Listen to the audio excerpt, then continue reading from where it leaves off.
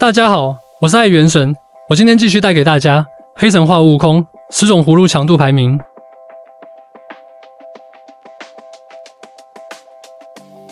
葫芦配酒，越喝越有。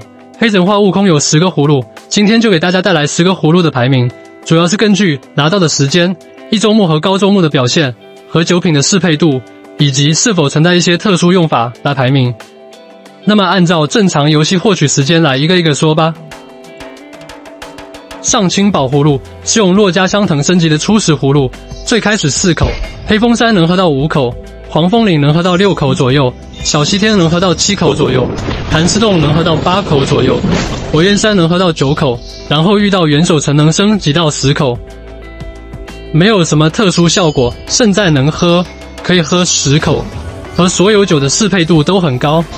比如配合琼浆，能比别的葫芦回很多蓝，能喝的次数多就是它最大的优势。玩家甚至可能一路升级，从头用到尾，从来没换过。这里排在 S。真仙红葫芦预购版。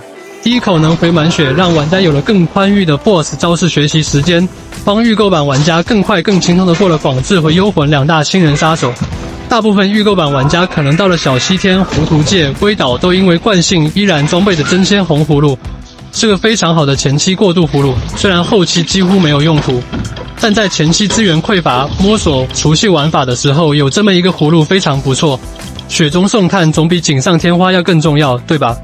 这里给个 A，五鬼葫芦可以喝五口，治疗效果减半，能增加十五点攻击力。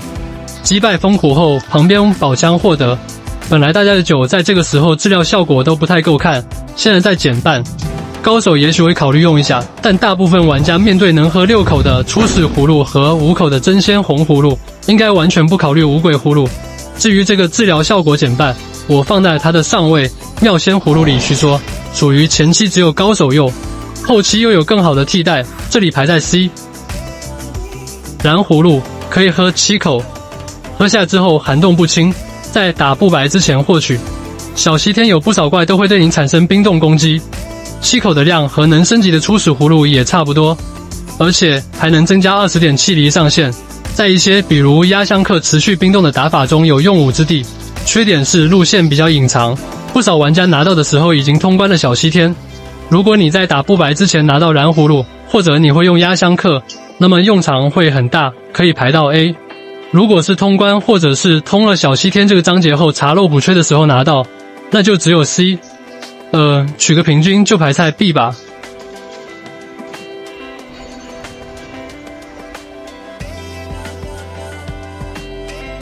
真仙红葫芦普通版，在小西天马哥的地方获取，防风零一五。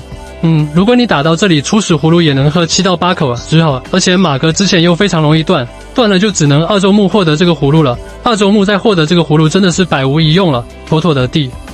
玉观音葫芦恢复场中毛猴生命，打到第三章从生猴处购买宝莲玉葫芦，然后用三个洛迦香藤升级一次获得，能喝八口，专门为了风声构筑的葫芦。但是这个时候身外身法很难成为主流玩法，而且此时洛迦香藤给初始葫芦的性价比更高一些，所以大概率很少有人用。到了多周目开始开发各种玩法的时候，尤其是开了第六个蒸汽分身可以打出蓄力的时候，啊，分身玩法就开始有了值得开发的价值。那么玉观音葫芦就有点用了，这里排在 B。香妃葫芦。饮酒后一定时间增加火焚耐性，且免疫熔岩地面。四妹去不了心心念念的山外青山，但是给了你一个葫芦，让你平平安安闯过火焰山。要避火罩冷却时间过长，打火焰山很多 BOSS 的时候，一旦时间拉长就很危险了。再加上推图时候要在火焰山岩浆上来回走，这么一个葫芦会让你的火焰山之旅变得非常安逸。能喝八口也是顶级的水平，这里给到 A。妙仙葫芦在盘丝洞推进到打猪八戒的时候，能在生猴处购买，恢复效果减半。饮酒后一定时间增加攻击伤害，能喝八个非常多。虽然恢复效果减半，拿到后大部分玩家可能不会换上，但是它的恢复效果减半只是针对酒品的一次性的固定回复量进行减半，不影响根气点出的长变百草加成，也不影响一些酒品缓慢回血的效果。加上玩家随着游戏的深入，越来越意识到攻击是个非常稀缺的玩意儿，这个葫芦的含金量就上来。如果点出长变百草，那么即使是喝龙膏，也能够回复三成的血量，还能够加攻击。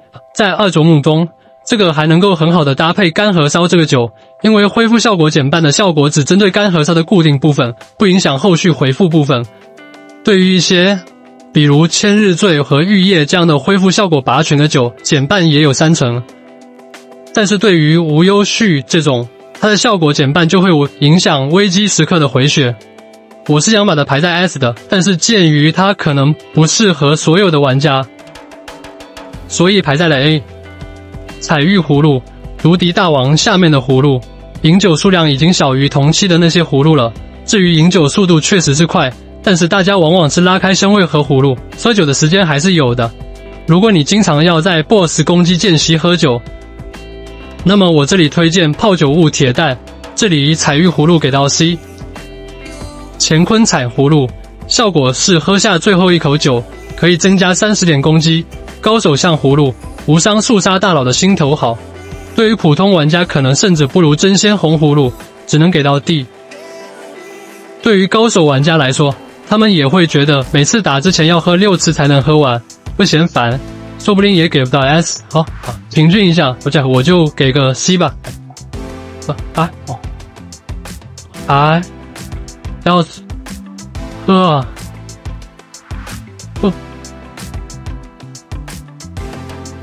清甜葫芦，二中木从生蚝处购买，无限畅饮，适合所有流派，推图打 BOSS 都很舒适，能时刻触发喝完最后一口酒的效果，和所有的酒都能搭配的很好。在你满血的时候搭配龟类，那也能补蓝，反正一段时间又能继续喝，而且还能够搭配博山炉这个神器。每次看到博山炉，我都会想到，如果乾坤彩葫芦能装在清甜葫芦里喝，那该多好！这里是我不闪不避，博山炉混铁棍牛魔套战撸四周目大院八戒。